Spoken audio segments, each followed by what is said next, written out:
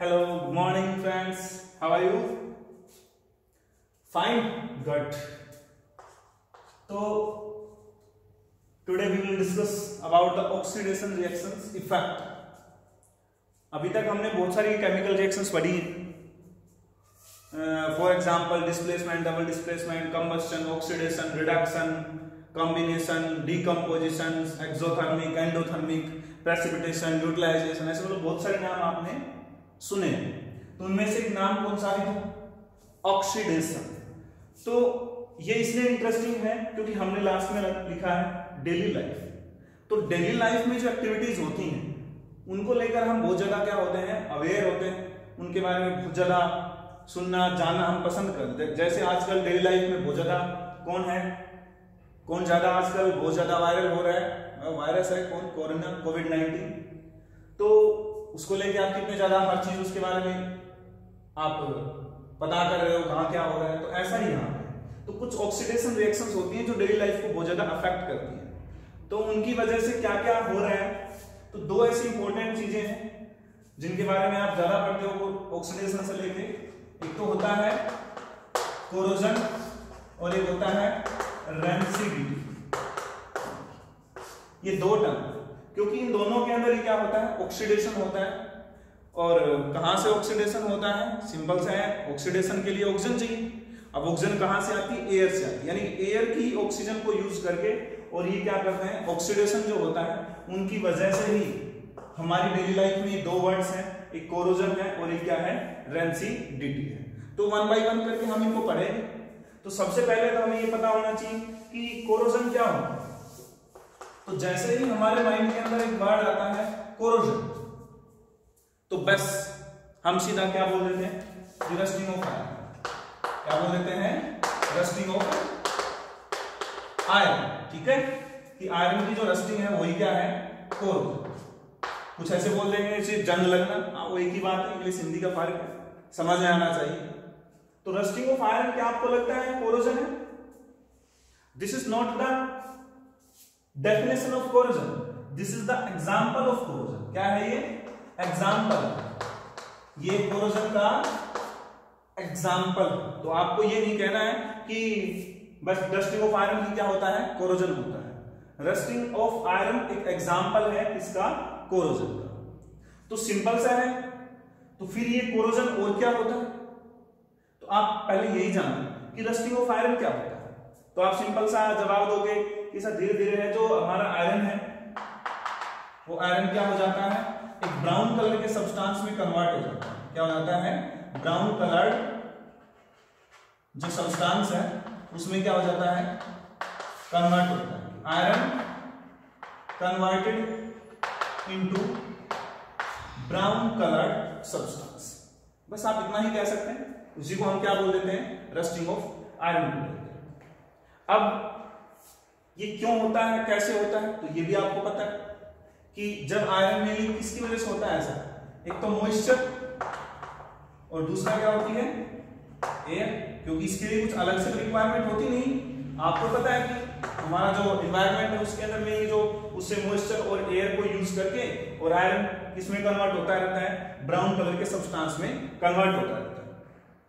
अब ये brown colour का जो सब्सटेंस बना है, क्या आपको लगता है ये यूजफुल है? नहीं। ये कोई यूजफुल नहीं। क्या ये डिजायरेबल प्रोडक्ट है? आप चाहते हो कि ये बने? नहीं। तो ये किस तरह का प्रोडक्ट है? अनडिजायरेबल प्रोडक्ट कैसा प्रोडक्ट है? अनडिजायरेबल प्रोडक्ट है। यानी कि अनडिजायरेबल प्रोडक्ट फॉर्म हुआ है। किससे? आयरन से। आयरन किस तरह का प्रोडक्ट है? डिजायरेबल प्रोडक्ट किस तरह का प्रोडक्ट है ये? डिजायरेबल प्रोडक्ट इसकी रिक्वायरमेंट होती है सभी को। तो अब आप यहाँ से क्या देखते हैं बेसिकली कि इन्वायरमेंटल मॉइस्चर और एयर ने हमारे काम का जो प्रोडक्ट था, उसको बेकार में कन्वर्ट कर दिया। जो कोई काम का ही नहीं। यानी कि इसकी वजह से हमारे आयरन की क्या हो गई है? ऐसी तैसी हो गई। कोई काम का नहीं। ये क्या है? ये कोरोजन का एक एग्ज़ाम्पल है। यानी कि कोरोजन में शब्द जगह क्या होता है? अब यहाँ पे तो हमने पर्टिकुलर एक एग्ज़ाम्पल ले लिया, क्या? आयरन क्या इस तरह से जो हमारा कॉपर है, वो भी खराब हो सकता है? क्या हमारा सिल्वर है भी खराब हो सकता है? बताओ। ज़रूरी थोड़ी कि वैसे आयरन ही खराब होता है। सिल्वर भी खराब हो जाता है स्टील भी खराब हो जाता है। हमारे पास कॉपर है, और भी बहुत सारे मेटल्स हैं, जो ऐसे ही क्या है? किसी न किसी बेकार की चीज़ों में बदलते रहते हैं। तो कोई भी जो मेटल है, उनका क्या हो रहा है? बेकार की चीज़ों में कन्वर्जन हो रहा है। ठीक है? तो आपको क्या लग रहा था, सिर्फ़ आयरन का हो रहा है। ऐसे बहुत सारी चीज़ों का हो रहा होता है। जैसे कि अगर हम आपसे ये कहते हैं कि ह्यूमन बींग कौन है? ह्यूमन बींग कौन है? तो ह्यूमन बींग में आप क्या बोलोगे? मेल बींग सिर्फ़ ये कहना तो गलत है कि ह्यूमन बींग सिर्फ़ मेल ही है है ना? क्योंकि ह्यूमन बींग में तो क्या होता है? फीमेल भी होते हैं, इसमें तो न्यूट्रल भी होते हैं। तो मेल एक एग्ज़ाम्पल है किसका? ह्यूमन बींग का। But not only male but also female and neutrals like that इसी तरह से यहाँ भी क्या है कि आयरन का क्या होना अनडिजायरेबल प्रोडक्ट में कन्वर्ट होना कोरोजन का एक एग्ज़ाम्पल ऐसे बहुत सारे क्या है? अलग अलग एग्जाम्पल्स तो चलो ये बात आपको समझ में आ गई कि कोरोजन एक एग्ज़ाम्पल का रस्टिंग ऑफ़ आयरन एग्ज़ाम्पल है। अब ये भी पता लग गया होगा, इसमें एक्चुअल में हो क्या? है आप खुद बताओ। क्या होगा? मैं कोई डेफिनेशन आपको नहीं बताऊँगा, पहले आप खुद सोचो कि यहाँ पर एक हमारा डिजायरेबल प्रोडक्ट है और ये कौन है? मेटल्स है। कौन है ये? मेटल है। ये किसमें बदल रहा है? एक अनडिजायरेबल प्रोडक्ट में बदल रहा है। किसकी वजह से बदल रहा है? इन्वायरमेंटल मॉइस्चर और एयर यानी कि किसी भी मेटल का अनडिजायरेबल प्रोडक्ट में बदल जाना। Due to the presence of moisture and air कि मॉइस्चर और एयर की प्रेजेंस की वजह से किसी भी मेटल का अनडिजायरेबल प्रोडक्ट में कन्वर्ट हो जाना ही क्या कहलाता है? कोरोजन कहलाता है। अब बात समझ में आई कोरोजन की? किसी को कोई कंफ्यूजन तो नहीं है? पक्का? तो सिंपली हम क्या लिखेंगे यहाँ पे? अगर आपको इसकी डेफिनेशन लिखनी है तो क्या लिखोगे? आप खुद से भी लिखो, बोलो साथ साथ the conversion of metal into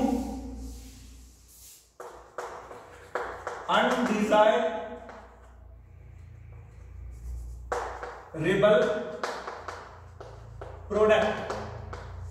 अब ये अनडिजायरेबल प्रोडक्ट क्या क्या है? थोड़ा इनके बारे में भी सोच लें। जैसे हमारे पास आयरन है तो आयरन का जो अनडिजायरेबल प्रोडक्ट होता है, वो क्या होता है? आयरन का ही ऑक्साइड होता है। क्या होता है? आयरन का ही ऑक्साइड होता है। ऐसे ही हमारे पास सिल्वर है। उसका जो अनडिजायरेबल प्रोडक्ट है, वो सिल्वर का ही क्या होता है?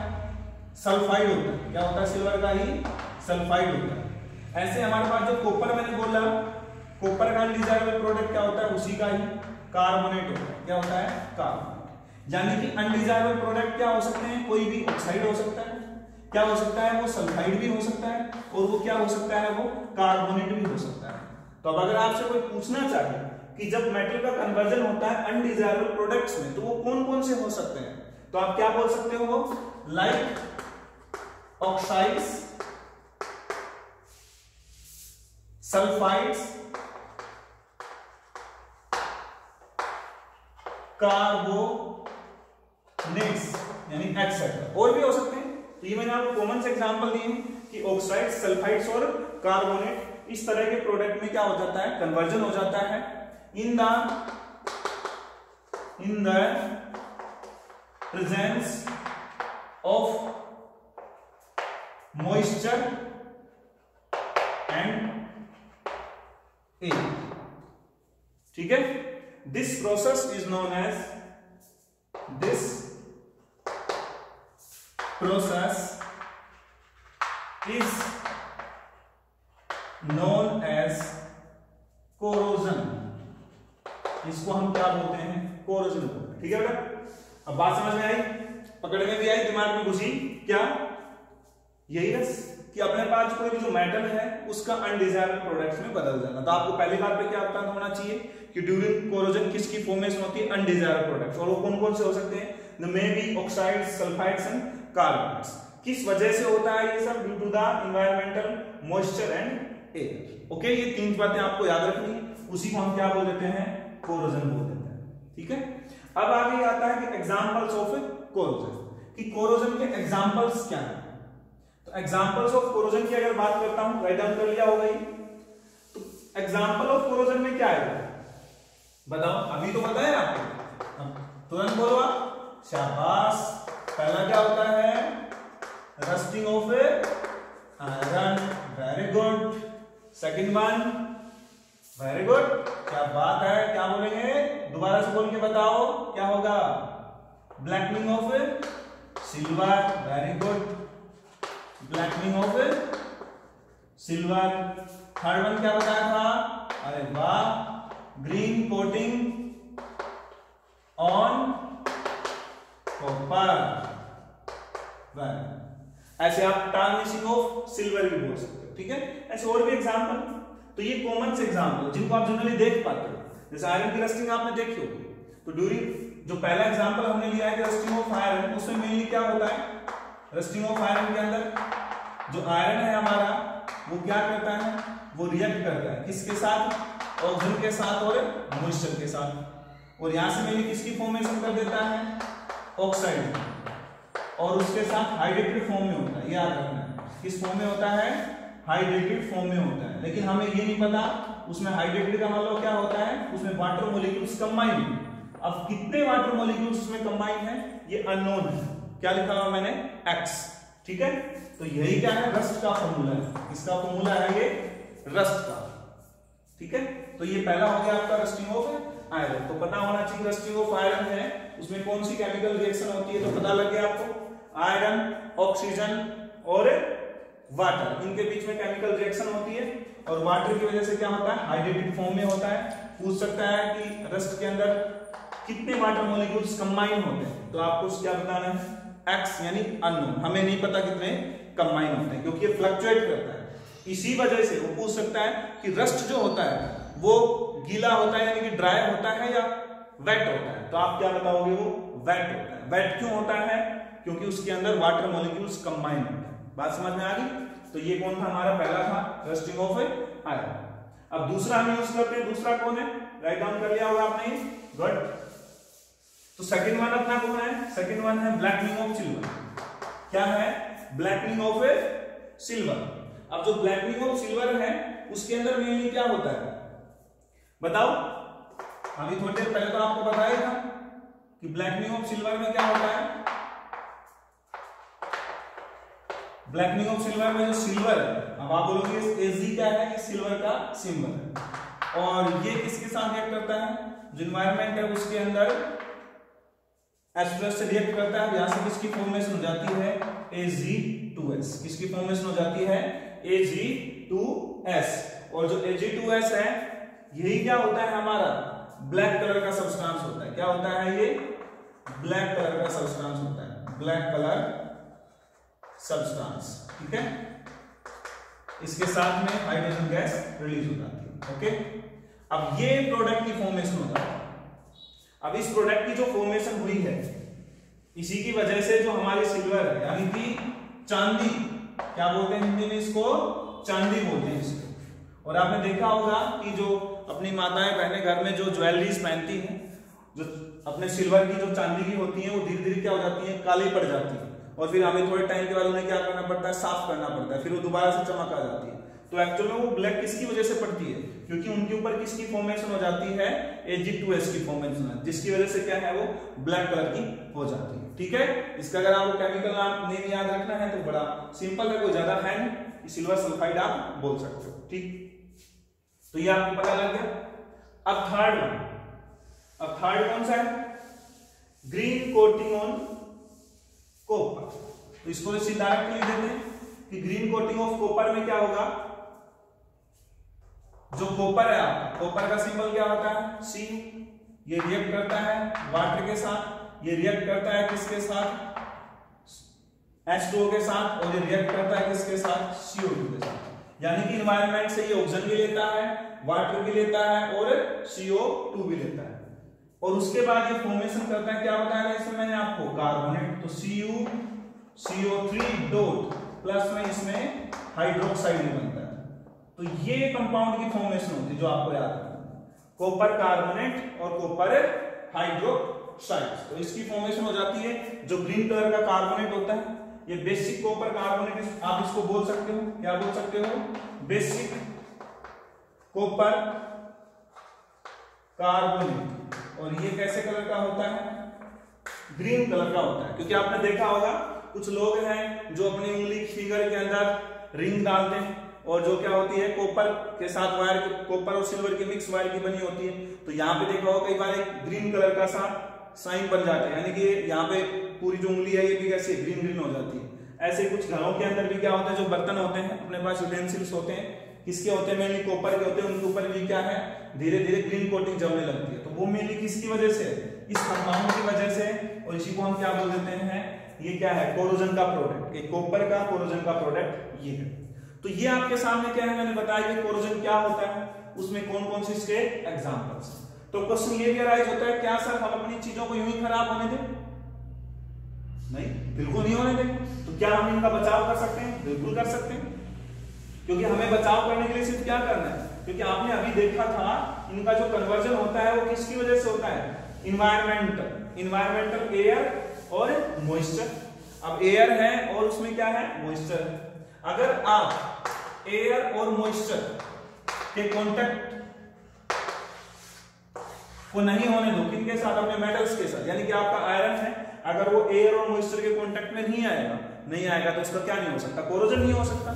तो अब आपको ये देखना है कि एयर और मॉइस्चर को हम किस तरह से रोक सकते हैं अपने मेटल्स के कॉन्टेक्ट में आने से। तो उसके लिए हमें क्या करना पड़ेगा?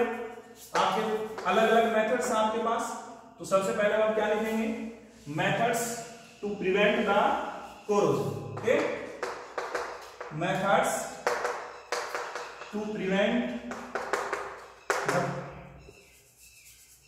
corrosion तो हमें कोरोजन से इनको प्रिवेंट करना है। अब कोरोजन से प्रिवेंट करने के लिए आपको क्या क्या करना होगा? तो ये देखो। तो सबसे पहले तो एक आसान तरीका कि आप क्या कर दो? पॉलिशिंग कर। जैसे आपने नॉर्मली देखा भी होता है कि हम क्या कर देते हैं? पेंट उसके अलावा ग्रीसिंग ग्रीस लगा देते हैं, ठीक है? उसके अलावा ऑयल तो कोटिंग ऑफ़ क्या बोल सकते हैं? कोटिंग ऑफ़ पेंट ग्रीस और ऑयल इनकी जब हम कोटिंग कर देते हैं देन क्या होता है? कि जो आपका मॉइस्चर है और वाटर उनके कॉन्टेक्ट मॉइस्चर उनके कॉन्टेक्ट में नहीं आ पाता है। पर ये टेम्परेरी होता है, क्योंकि थोड़े टाइम के बाद क्या है उतरने लग जाता है, या फिर ये इक्वलिटी में नहीं हो पाता यूनिफॉर्मिटी नहीं होती है। तो कुछ हमारे पास क्या है, एक दो सोल्यूशन है, जैसे हम क्या बोल देते हैं बायोफिनोल ये थोड़े से क्या होते हैं, इस तरह के सब्सटेंस है, जो उनको अल्कोलाइन सोल्यूशन होता है, उस तरह का बिहेव करते हैं, जिसकी वजह से जो आयरन है, उसका अगर कोरोजन हो रहा है तो वो नहीं हो सकता, क्योंकि उसका जो एसिडिक कैरेक्टर्स है, जिसकी वजह से होता है, वो आप आगे हायर क्लासेस में पढ़ोगे, वो कॉन्टेक्ट में नहीं आने देता, उसको न्यूट्रलाइज कर देता है, ठीक है? तो ये आपको याद रखना है। उसके अलावा आप क्या बोल सकते हो? बहुत अच्छा मेथड है, जिसको हम क्या बोलते हैं? इलेक्ट्रोप्लेटिंग क्या बोलते हैं? इलेक्ट्रोप्लेटिंग यानी कि जो मेटल होता है, उसके ऊपर, कोई उससे ज़्यादा रिएक्टिव मेटल की कोटिंग कर देते हैं। जैसे आपने कभी बाइसिकल साइकिल देखा होता है, उसका जो हैंडल होता है, उसके ऊपर हम क्या होता है बहुत ही स्टाइलिंग सब्सटेंस होता है, जिसके हम क्या करते हैं कोटिंग करके रखते हैं। तो वो बड़ा इलेक्ट्रोपेटी का मतलब क्या है? कि आप हैं तो वो भी पेंटिंग एक तरह से, यानी दूसरे मेटल के उसके ऊपर परत चढ़ा रहे हैं। But by the method of electrolysis यानी इलेक्ट्रिसिटी का यूज़ करके, और हमने उसके ऊपर क्या कर दिया पेंटिंग कर दी तो उस तरह का कुछ आप ऐसा मान सकते हो, उसको हम क्या बोलते हैं? इलेक्ट्रोप्लेटिंग ठीक है? उसके अलावा आप एक अपने पास मेथड है सेक्रीफिशियल प्रोटेक्शन सेक्रीफिशियल प्रोटेक्शन ये भी एक मेथड है हमारे पास। इसमें क्या होता है? सेक्रीफिशियल ये देखो सेक्रीफाइस वर्ड से बना हुआ है कि जब हमें ये पता है कि हमें आयरन और आयरन का कोरोजन रोकना है तो आयरन के कोरोजन को प्रोटेक्ट करने के लिए हम क्या करते हैं कि इससे रिएक्टिव मेटल इसके साथ जोड़ देते हैं। जैसे आपको पता है कि ये आदमी को बड़ा ज़्यादा गुस्सा आता है। ये तो झगड़ा करेगा ही करेगा, इसको अगर वहाँ भेजेंगे तो। लेकिन ये भेजना भी ज़रूरी है। तो हम क्या करते हैं, उसके साथ उससे भी ज़्यादा रिएक्टिव इंसान को भेज देते हैं, यानी वो उससे भी ज़्यादा गुस्सा तो अब क्या होगा, जैसे ही दोनों जाएँगे तो पहले नंबर किसका आएगा? जो ज़्यादा गुस्सा कर रहा है, वो आगे रहेगा। तो अपना पीछे वाला क्या हो जाता है? प्रोटेक्ट हो जाता है। समझ रहे हो मैं क्या कहना चाह रहा हूँ? कि हमेशा जो झगड़ा में कोई भी पहले शामिल कौन होगा, जिसको ज़्यादा गुस्सा आ रहा है, जो ज़्यादा रिएक्टिव जो ज़्यादा एक्टिव है। तो ऐसा यहाँ पर है। कि कोरोजन किसका होता है जो ज़्यादा एक्टिव है, जो ज़्यादा रिएक्टिव है, उसका पहले होता है। तो हमें ये पता है कि हमें आयरन को प्रोटेक्ट करना है। तो आयरन को प्रोटेक्ट करने के लिए क्या करते हैं? हम उसके साथ उससे ज़्यादा रिएक्टिव मेटल को कनेक्ट कर देते हैं। जैसे जो अंडर पाइपलाइंस होती है ना बहुत सारे, वो लंबे, जो काफ़ी डिस्टेंस तक जाते हुए आयरन के होते हैं तो हम उनमें जगह जगह क्या करते हैं? उनके साथ एक वायर से मैग्नीशियम के छोटे छोटे टुकड़े कनेक्ट कर देते हैं। अब क्या होता है कि जब इसमें कोरोजन हो रहा होता है तो आयरन से पहले किसका नंबर आता है? मैग्नीशियम का। यानी कि जब तक मैग्नीशियम खत्म नहीं हो जाएगा, तब तक किसका नंबर नहीं आ सकता?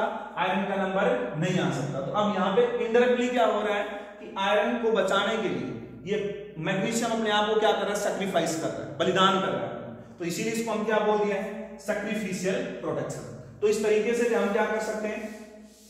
इन मेटल्स को मेनली कोरोजन होने से क्या कर सकते हैं? बचा सकते हैं। ठीक है? तो ये बातें आपको इसके अलावा और भी बहुत सारे मेथड्स हैं बट ये मेनली मेनली यही आपको याद रखने हैं कि अल्कलाइन सॉल्यूशंस हैं, उनमें डिप कर देंगे या ग्लिसरिन ऑयल पेंट लगा देंगे इलेक्ट्रोप्लेटिंग कर देंगे और सेक्रीफिशियल प्रोटेक्शन तो ये हमारे पास क्या हो गया कोरोजन को प्रिवेंट करने के मेथड ठीक है? और ये बहुत ज़रूरी है, क्योंकि इसकी वजह से कोई भी जो कंट्री है, उसमें पर ईयर मिलियंस टन है जो हमारा मेटल्स है, वो क्या हो जाता है? बेकार हो जाता है। तो उसको बचाव के लिए भी हमें बहुत सारे क्या है सोल्यूशन होने चाहिए। क्योंकि अगर कोरोजन ना हो तो हमारे पास जो मेटल्स है, उनकी डेफिशिएंसी ना हो। क्योंकि पता है कि धीरे धीरे क्या है, खत्म होते चले जाते हैं। नहीं तो वैसे का वैसा रहते, इतनी ज़्यादा डिमांड नहीं है। तो ये इकोनॉमी को भी क्या करता है, बहुत ज़्यादा अफेक्ट करता है। तो इनके ड्रॉबैक्स ठीक है? और एक ऐसा मेटल भी है, जिसकी कोरोजन की वजह से हमें प्रोटेक्शन भी मिलती है। और वो कौन है? यानी फ़ायदा मिलता है उसकी वजह से। एल्यूमिनियम कौन है वो? एल्यूमिनियम यानी कि एल्यूमिनियम एक ऐसा मेटल है जिसके ऊपर क्या है, उसी के ऑक्साइड की जब लेयर बन जाती है तो उसके बाद उसका क्या नहीं होता है ऑक्सीडेशन नहीं होता है। तो इसका एक एल्यूमिनियम के अंदर पॉजिटिव इंपैक्ट भी है कि एल्यूमिनियम का ऑक्साइड बनने के बाद वो किसी से रिएक्ट नहीं करता है और उसके अंदर जो एल्यूमिनियम होता है, उसको रिएक्ट होने भी नहीं देता है। तो ये उसके लिए पॉजिटिव एग्जांपल भी है कोरोजन का ओके तो हम नेक्स्ट चैप्टर में क्या सॉरी नेक्स्ट लेक्चर में क्या पढ़ेंगे? रेंसिबिलिटी